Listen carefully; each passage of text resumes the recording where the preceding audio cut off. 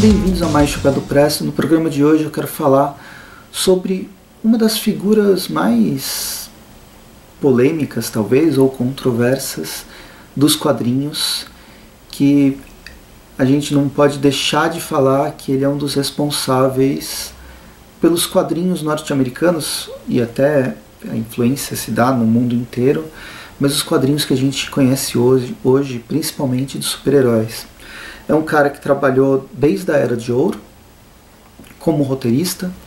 Ele é um dos principais responsáveis pela transformação da Era de Prata. E durante a Era de Bronze, a Era das Trevas, a Era Contemporânea, ou qualquer nome que a gente queira dar, esse, essa personalidade foi extremamente importante, mas como marketing mais do que roteirista. E óbvio que vocês sabem que eu estou falando do Stan Lee eu quero falar sobre o, o personagem Stan Lee através dessa biografia que foi escrita pelo Peter David e desenhada pela Colin Duran. Foi lançado pela Geektopia em 2016 e é uma revista de 2015 que o Peter David fez junto com né, o roteiro foi desenvolvido junto com o próprio Stan Lee ao longo dos, de 2014 para ser lançado em 2015. Então é uma biografia é, incrível, fantástica, inacreditável biografia em quadrinhos do gênio que criou os super-heróis da Marvel. É uma biografia meio que bastante chapa branca. Ela não vai entrar em grandes é, controvérsias sobre o personagem, sobre o Stan Lee. É uma biografia que tem seus problemas é, nesse ponto, porque ela coloca o Stan Lee é uma auto, é um pouco tem um pouco de autobiografia, colocando o Stan Lee como um, uma pessoa importante como foi, mas sem mostrar os seus defeitos. Ele sempre arranja uma desculpa ou existem momentos que ele resolve não, não se aprofundar porque ele não quer se aprofundar ou porque realmente afeta ele de alguma forma, incomoda ele de alguma forma. Tudo é narrado em primeira pessoa, é como se Stan Lee tivesse fazendo um show e apresentando a sua vida, um documentário apresentando sua vida para o leitor ou para o espectador. Bem, eu estou fazendo esse vídeo também agora, final de 2019, vai fazer um ano desde a morte desse herói do, universo, um dos maiores heróis do universo dos quadrinhos, que vem aparecendo em todos os filmes da Marvel. É uma figurinha carimbada que acho que as pessoas, os fãs mais recentes, ou pelo menos os fãs do universo Marvel, do é, universo cinematográfico, e não só restrito ao universo cinematográfico Disney Marvel, eles têm eles vão conhecer como o criador da Marvel, não é o criador de todos os personagens. Mas enfim, ele morreu em 28 de dezembro do ano passado, de 2018, já tinha 95 anos e aqui vai uma singela homenagem ao Stan Lee, do Chapéu do Presto, que não fez logo depois da morte, mas eu preferi dar um tempo, deixar as coisas é, acontecerem, a areia, né, a poeira baixar e falar sobre essa pessoa através dessa biografia. Essa, essa história em quadrinhos, é, ela vai contar, como eu disse, um pouco sobre, vai contar sobre a biografia do, do Stan Lee desde, seus, desde seu nascimento, quais foram suas influências. Ele nasceu em Nova York, ele é filho de uma mãe nova-iorquina, mas o pai era um imigrante romeno. Sempre gostou muito de ler e se isolava, na verdade, das outras das outras crianças. O foco dele era a leitura. Ele tinha vários heróis heróis clássicos da literatura, principalmente. Ele não era muito é, próximo da literatura, literatura pulp, que seria a mais, a mais contemporânea do personagem, na década de 30. Teve problemas com os pais. O pai, na verdade, é, por passar a infância nos anos 30, o pai ele era um tanto quanto estourado. Ele era o único que trabalhava na casa reflexo de uma sociedade machista que a gente tem, né? A mãe cuidando dos filhos, o pai trabalhava, trabalhava fora, mas durante os anos 30 nos Estados Unidos, no mundo inteiro, período de recessão terrível, era muito difícil conseguir emprego. Então eles passaram maus bocados, comendo, tomando água de salsicha no almoço para não ou na janta para poder dormir.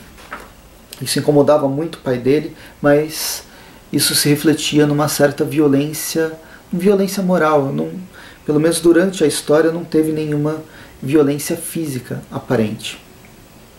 É, apesar disso, todos os domingos tinha um momento que eles se reuniam na frente do rádio para ouvir várias histórias que eram, eram como se a gente assiste a televisão, os seriados eram seriados que passavam no rádio e ele conheceu vários personagens, personagens que vão influenciar ele a criar novos nos anos 60. Em determinado momento ele foi envelhecendo, então ele resolveu ajudar os pais trabalhando, arrumando vários trabalhos, até o momento que ele passou a trabalhar com o tio Rob numa editora. Foi lá que ele conheceu Jack Kirby e várias outras personalidades que foram bastante importantes para o universo, pro universo dos quadrinhos norte-americanos e, como eu disse, do mundo inteiro. Bem, a revista é bastante linear, com algumas digressões e inserções de outros tempos, de outros períodos ao longo da, da história. A gente conhece a namorada dele, a Joan. É, é engraçado que o primeiro encontro que ele tem com a Joan, ele é meio encontro às escuras, é, que foi um encontro arranjado. Ele ia sair com a Beth, que é a prima da, da Joan, a Joan que abre a porta, e aqui a gente tem a figura que é claramente uma referência ao Homem-Aranha, a Mary Jane. Beth também foi uma das namoradas do Peter Parker e a gente e nesse momento a vida imita a arte, a arte imita a vida e várias referências cruzadas da história do próprio Stan Lee se desenvolvendo com esse com essas namoradas que ele teve.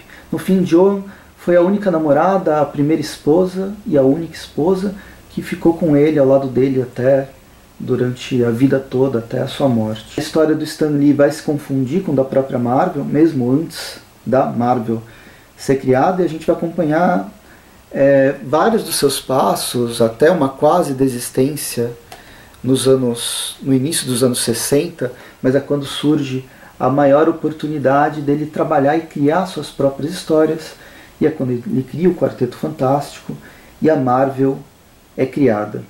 Eu acho que seria muito interessante ler uma história, um, o que aconteceria se o Stan Lee tivesse desistido das histórias em, em quadrinhos, um exercício criativo para a gente saber o que seria o quadrinho atualmente, né, o quadrinho contemporâneo, sem o Stan Lee estar tá envolvido nessas todas transformações. Porque gostem ou não, ele é um dos pilares do que a gente conhece por comics no mundo inteiro. Bem, a partir de então a gente vê a criação dos personagens principais do universo Marvel, as existências do Martin Goodman, as vitórias completamente malucas do Stan Lee, novas criações, apresentação de vários desenhistas, roteiristas, como o, o Jack Kirby, qual que é a importância dele, outros personagens como o Larry Lieber, né, o irmão dele, que era muito mais novo, então ele não, ele não tinha tanta relação durante a infância, o Joey Manley, que é um, um um roteirista, desenhista que ele teve contato antes da Marvel, nos anos 50 ainda, mas que morreu prematuramente. Provavelmente ele seria uma outra personalidade dessa época de ouro da, dos quadrinhos, né? mas ele presta sua homenagem. Com o passar do tempo, a gente vê o desenvolvimento da própria editora Marvel, a saída, o, Stan Lee se transformando em editor-chefe, depois o Stan Lee saindo da Marvel, acompanhando o desenvolvimento dos, dos seus personagens pela televisão, pelos filmes que começam a ser, ser feitos, bons ou ruins. Tem uma passagem muito engraçada dos heróis da Marvel dentro da Casa Branca que não saiu muito do jeito que se esperava. deixo para vocês lerem, não vou contar o que acontece de verdade. O Stan Lee se tornando personalidade, mesmo ele não acreditando nisso, pelo menos pela autobiografia. É, e aí ele conhece várias pessoas famosas, como Paul McCartney, o Kiss. E aí, em determinado momento é, do, da, da, da sua própria história, ele resolve sair da Marvel, ficar mais afastado, criar seus, seu próprio estúdio. Não funcionou muito bem, mas ainda assim faz parte da sua história. Ah, no decorrer do, dos anos, ele também mostra como foi a transformação da própria Marvel. A Marvel foi vendida por diversas para diversas companhias, diversos conglomerados, e isso fez, isso provocou mudanças para bem e para mal na editora. E é, justamente essa uh, o, acompanhamento, as crises, as crises não da, da DC, mas as crises dos quadrinhos, desde a da crise dos anos 50, do Comic Code, até a crise econômica no início dos anos 90, ao longo dos anos 90, onde várias pessoas compravam milhões e milhões de quadrinhos iguais, hiperinflacionou uh, os quadrinhos, né? parecia que aquilo valia grana pra caramba e depois não valia mais nada e as, a empresa entrou em colapso total, as empresas entraram em colapso. E aí, com o tempo, já chegando nos anos 2000, o Stan Lee chega a criar uma editora própria, uma editora que faz trabalhos e cria personagens encomendados. E ele começa a participar também dos filmes da Marvel que estão se. que a editora que está se reerguendo desde o início dos anos 2000 com participações em filmes do Homem-Aranha, participação do filme nos filmes dos, dos X-Men, no, nos filmes mais, mais recentes do Homem de Ferro, um filme que ele fala que ele gostou bastante. Ele sempre incomodado com o Batman, parece que é um fantasma na vida dele, e o momento que ele participa do universo DC, recriando o universo DC. Não é uma série legal, é uma série bem ruinzinha. O Stan Lee, pessoalmente eu não gosto muito das histórias do Stan Lee e tenho um pé atrás com algumas coisas que aconteceram ao longo da vida dele, alguns embates de questões criativas é, e ele aparecendo mais que outros que outras pessoas que também foram importantes na criação de vários personagens, como grande parte do universo Marvel no início dos anos 60 ainda assim é uma personalidade super importante para os quadrinhos. Volto a falar, acho que falei isso umas 10 vezes nesse vídeo, mas é uma personalidade super, personalidade super importante para o universo dos quadrinhos ser o que ele é hoje. É, bem, ele morreu ano passado, aos 95 anos, como eu disse, e aqui vai essa homenagem através do que eu faço normalmente nos vídeos, que é fazendo uma resenha.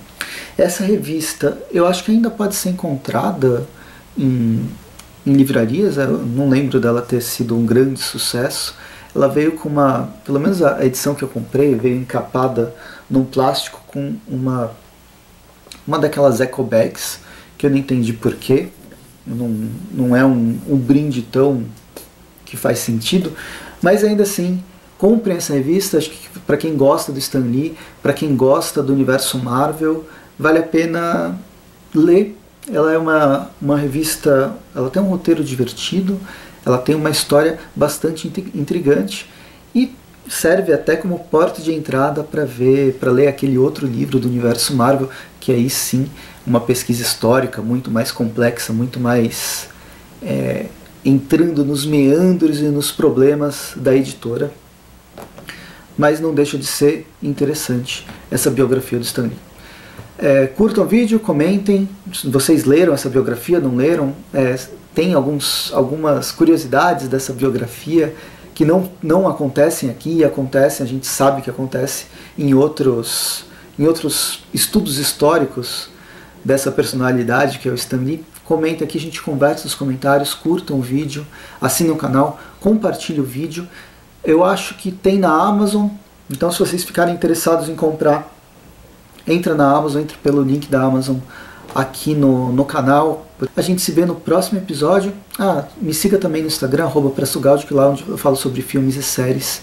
É uma pegada um pouco diferente do que, do que eu faço normalmente, né? Eu não falo sobre quadrinhos lá, a não ser que sejam filmes e séries sobre quadrinhos, que tem bastante também. Mas é um pouco para dar uma diversidade.